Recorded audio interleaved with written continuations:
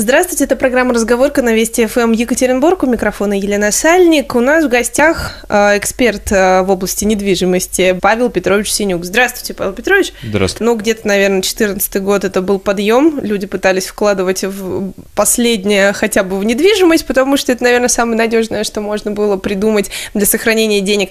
Сейчас, ну, вот э, такое ощущение, что стагнация, люди привыкли к состоянию экономическому. Что с рынком недвижимости? Остановился? Было ли падение? Остановилось ли? Ну, 15 год было снижение однозначно, потому что люди как бы не были готовы покупать за дорого, продавцы не были готовы продавать за дешево, соответственно. Угу. То есть к концу года как бы ну, было найдено равновесие, поэтому количество сделок увеличилось. Про 15 говорим, да? Угу. То есть э, где-то до мая месяца все хорошо, ну так, относительно нормально все продавалось, покупалось.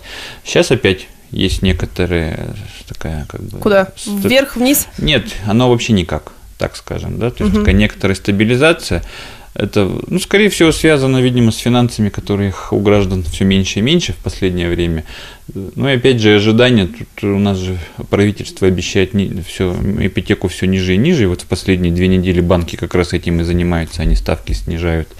Ну, ставки снижаются незначительно, самый минимум 13. Ну, если новостройку, там некоторые за 7 бывает, да, ну, только это очень такие, да, своеобразные объекты, то есть, ну, за 11 с чем-то новостройки, причем которые сдаются в этом году, можно купить. Угу. То есть, как бы это достаточно хорошего качества жилье, как бы подождать не проблема. Вот, и 11% это даже до кризиса не было, да? То, угу. есть, то есть это те ставки, которые, в принципе, вменяемые, и цены как бы с тех пор-то сильно не выросли. Но если э, покупатель сейчас придерживает деньги или их нет, и люди, которые хотят все-таки поменять недвижимость или продают ее, они избавляют ли цену, либо они ждут? Те, кто продают, они избавляют в основном. То есть это единственный способ, то есть как бы другого нет. Адекватна ли сейчас цена за квадратный метр в Екатеринбурге? Ну, вот так скажем. То есть, как бы предложение достаточно большое, но, по-моему, насколько я помню, на понедельник было 12 тысяч 120 объектов, это квартиры комнат, мы смотрели в нашей программе. В том году было, по-моему, до 14 доходило. То есть это говорит о том, что все-таки как бы продажи прошли. Но во все, в те времена, когда рынок был совершенно стабильный, то есть все хорошо продавалось и все покупалось, эта цифра была в районе 10-11 тысяч. Угу. То есть получается, что у нас сейчас есть как бы спрос, превышение предложения над спросом, причем, что новостроек-то тоже много, да, угу. то есть это я говорю только про жилую вот эти 12 тысяч, то есть новостроек их там еще тоже сколько-то угу. тысяч. Про вторичный рынок, да, да вы говорите. Вот, ага. То есть, соответственно, предложение хорошее, новостройки ипотека дешевая, как бы есть что купить, есть что выбрать. Соответственно, вторичка, как бы на нее это все давит, и те, кто хочет продать, продают именно, люди торгуются, смело, даже нагло.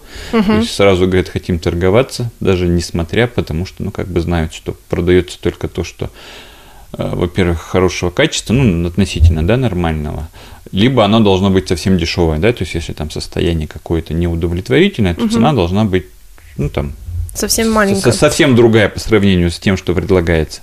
Ну и как бы, если условно говорить, стоит 20 квартир, смотрят первые 5-10, да, uh если эта цена примерно одинаковая. И вот с этими 50 разговаривают, остальные даже вот они просто стоят и все. uh И как бы делают среднюю цену рынка, соответственно, как бы вроде большую, да. uh То есть, ну реально среднюю надо брать вот по первым пяти, пяти циферкам. Это вот будет похоже на правду. Ну вот квадратный метр сейчас примерно сколько стоит? Ой, ну в центр, по, если по среднему брать, там достаточно высокий, как бы там можно в среднем-то и 100 может набежать, да, но при угу. этом там разбег от где-то от 70 до 150, да, вот этих цифр угу. за метр квадратный. Ну это вот адекватно, если это вторичное жилье для нынешней экономической ситуации. Ну, видите, центр он такой, там есть места, где, ну вот, ну, вот рядом с зоопарком дома, да, то есть там продаются обычно за сколько захочется. Ну там, ну, да, потому другое что, да, но это же среднее-то, но все равно попадает. Да, ну а если хрущевки обычные? Хрущевками, да, они потихонечку дешевеют. Недавно тут вот объявили, что в Пышму трамвай пойдет, да, то есть когда он, если пойдет, то Пышма станет стоить как Уралмаш. Угу. То есть все просто будет. То есть как бы всякие факторы влияют на эти вещи. И когда-нибудь ну. центр в Екатеринбурге будет стоить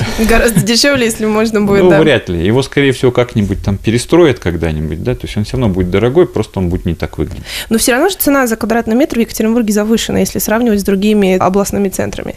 Дороже, чем везде, да. В Краснодаре вот новостройки 40 тысяч за метр, да, продают. Такого же класса, как у нас. У угу. нас это тысяч 70 будет стоить. При этом тоже вроде как бы ее, его столицей называют юга нашей угу. страны. А если говорить про коммерческую недвижимость, стоит? Стоит. Не сдается? нет, продается и сдается, но опять только вот кто там торгуется, либо это вот первая линия, да, то есть самая-самая-самая. Ну, Но опять же про первую линию улица Малышева. Запечатанные окна и все в объявлениях аренды. Согласен. Ну, все очень просто. Зайдите в пассаж Гринвич, там очень много надписей, скоро здесь будет магазин, и этих надписей становится все больше и больше. Выход у рынка коммерческой недвижимости. Ну, что? у собственников есть понимание экономики какой-то, да, то есть они же как бы, ну, у нас, насколько я понимаю, все-таки в основном собственники без ипотеки, у них это обходится без кредитов в большей части, да, но у них есть возможность все-таки, да, как-то поиграть брать. Угу. Наверное, все-таки не на якорных вот на этих держатся арендаторах, которые им заплатили за 10 лет вперед, и там договор прописан, и ничего не меняется. То есть это проблема арендаторов по большому счету сейчас. Новая форма недвижимости, которая особо прогрессирует сейчас, прогрессирует в Екатеринбурге, столица уже давно, мне кажется, все новостройки а, заполнены апартаментами, и вроде как нежилая недвижимость. Какие есть риски, если говорить про апартаменты? С точки зрения проживания рисков там нет никаких. Есть неопределенность. Неопределенность на сегодня это в том, сколько это будет в обслуживании обходиться, да, то есть потому что, ну, управляющая компания действует по принципу, что это не жилой дом, просто в налогах, то есть как бы могут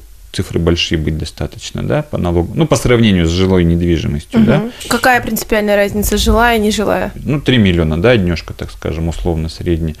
То есть, если она даже по кадастровой стоимости оценена в те же самые 3 миллиона, как сейчас, это получится 3000 рублей, да, насколько я понимаю, в год, если квартира. Угу. Если это не квартира, там, по-моему, до 2% возможен 60 тысяч, вот вам разница. Как за хорошую машину заплатить каска? Как бы вторая хорошая машина у вас появится, за которую надо платить.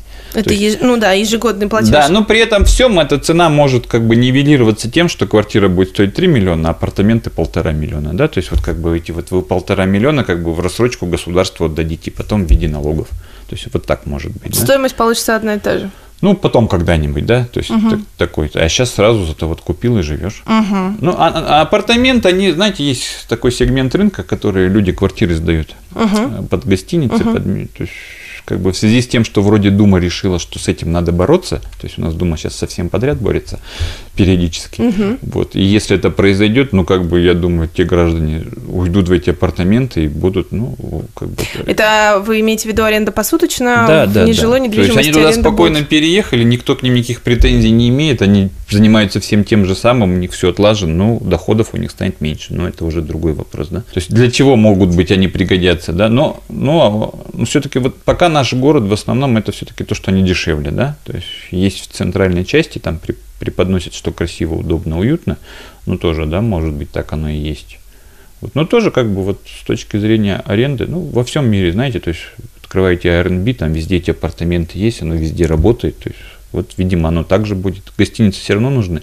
Не все готовы 10 тысяч за сутки платить. Тем более, если Екатеринбург становится привлекательным это правда. Э, со стороны... Это а, видно на улицах, это правда. С туристов, да, и которые приезжают не только в город посмотреть, но и по деловым контактам. Если говорить про апартаменты, риски, плюсом же еще прописка. Ну, временно это, ее же никто не отменял. Там только, причем тоже как бы говорят, что если школы и все такое, то есть, как бы они тоже, ну, как бы в последнюю очередь пойдут, да, но ну, школы у нас тоже сейчас всякие есть, есть платные, есть бесплатные, то есть это уже кому как захочется. Ну да, ну, то есть апартаменты, по, грубо говоря, выгодны все-таки э, в качестве э, вложения денег не для жилья, а вот для оборота Для коммерческого, денег, для коммерческого использования. использования. Ну, в перспективе, скорее всего, да. То есть сейчас может быть... Но опять же, у нас же говорят, что Дума, может быть, рассмотрит и приравняет их к жилью, да, как да, только это... насколько этот прогноз вообще да. действительно? Ну, это, это же 50 на 50 одобрят, не одобрят. Но угу. учитывая, что в Москве их много, угу. и обычно те, кто строит как-то там знакомы с теми, кто принимает законы, то, скорее всего, наверное, они как-то вот им жизнь облегчат. Угу. Ну, во-первых, это выгодно для экономики, да, то есть, то есть все-таки строят заводы, работают, там налоги тоже застройщики платят, то есть как бы это, в принципе, государству тоже выгодно, да.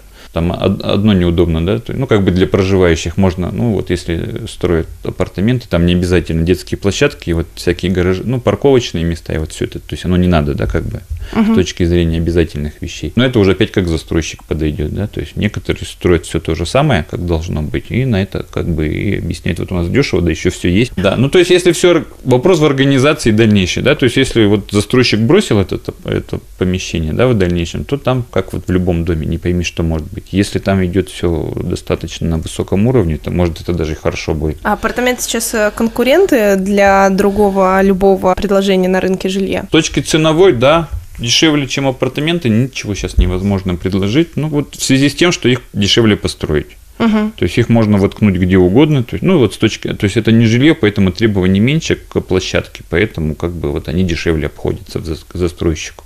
То есть даже если, поэтому их можно, могут продавать и вот как бы. Но все зависит, то есть, когда вы их смотрите на них, понимаю, э, определитесь, что вы хотите, да, то есть пожить два года и как и уехать оттуда, да, либо на перспективу. Если, ну, любой дом, да, чем больше в нем квартир, тем в нем сложнее жить. Тогда самый идеальный вариант это коттедж, да, но это уже у кого как получается. Хорошо, Павел Петрович, если подытожить рынок жилья сейчас, он переживает падение, рост, стагнацию? Ну, он такой стагнации, что как бы, ну, опять же лето, да, то есть могут, бывают периоды, вот когда ну, рынок стабильный, то есть всегда продается примерно одинаково.